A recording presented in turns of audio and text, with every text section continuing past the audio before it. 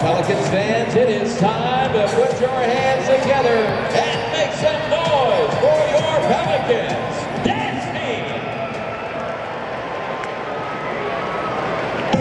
Dance team!